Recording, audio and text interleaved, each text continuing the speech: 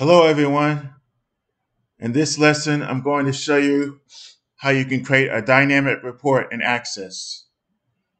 So you can see I have two tables. A state table, it just has Arizona, Alabama, California. And an employee table that has six records of people that live in different states. So you have one person lives in Alabama, three that live in Arizona, and one that lives in California. What I want to do is create a report that's dynamic. So when the user selects a state, it will produce the report for that state. So I'm going to create a form Change the background.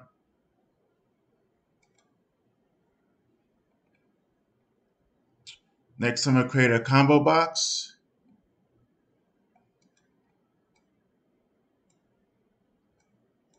Let's make it bigger.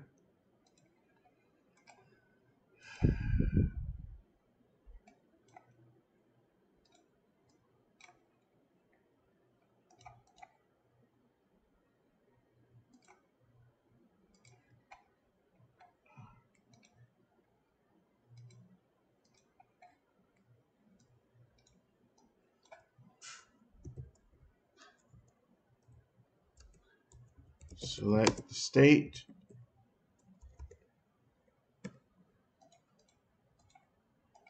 We select the combo box and then in the data tab under the properties sheet, go to row source, choose the state table.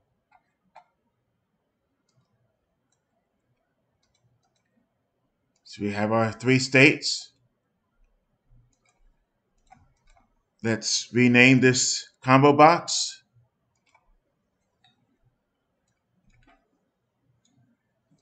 Call it state combo box.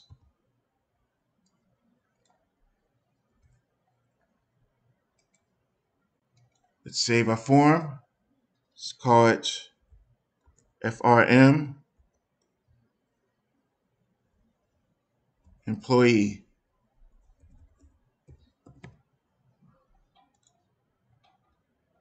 Now we're going to create a query. Query design. Extract the employee table. Double click all the fields. In the criteria, we're going to reference that combo box on our form that we created. So I'm going to say forms,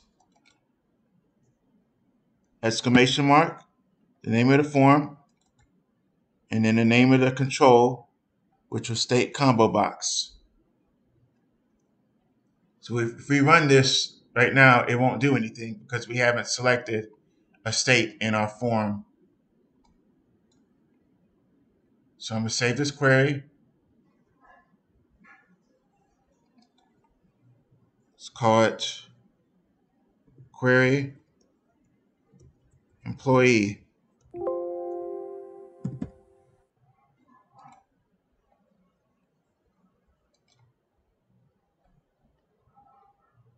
I'm back on my form. I'm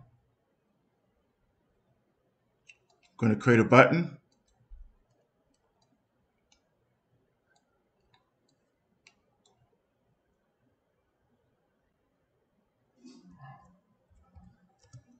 Just going to call it run query.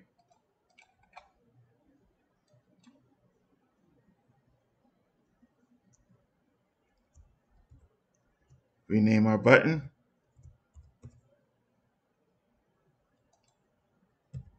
Go to the event tab, go to on click, go to code builder. We're going to use the do command. So do cmd dot open query. The name of the query was query underscore employee. And we want to do a preview of the query. Close this. Let's run this. So I'm going to select the state. Say Arizona. Run the query.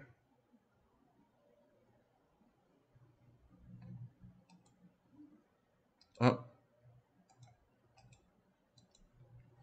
Did something wrong there. Change this to normal. So Arizona. So you have Arizona. Choose Alabama. We have Alabama. California, California. Now what we want to do is create a report based off of this query. So I'm going to go to create.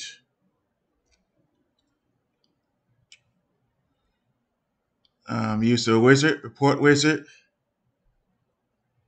So it's based off of the query, employee query. Select all the fields. Uh, we don't want any grouping levels. We can make it ascending by the last name. Let's do landscape.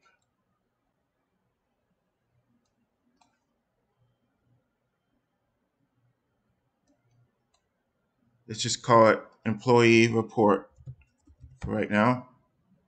Preview it. So it shows California because that's the last query we ran. Now, all we need to do is create a button that will run our report on a form. So I'm close this, go design view, create another button. Call this run report.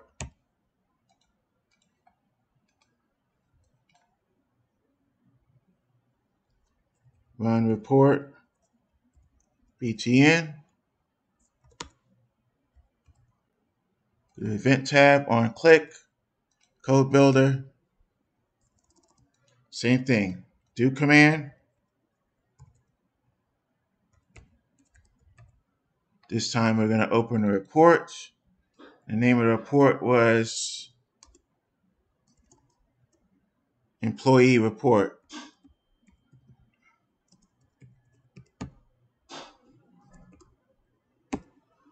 Gonna do preview the report.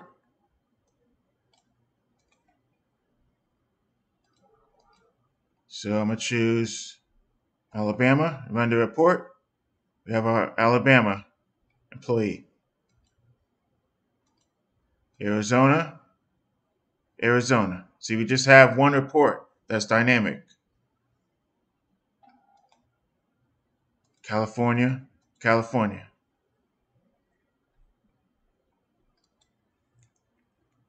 If you enjoyed the content of this video, please like, share, and subscribe to the channel.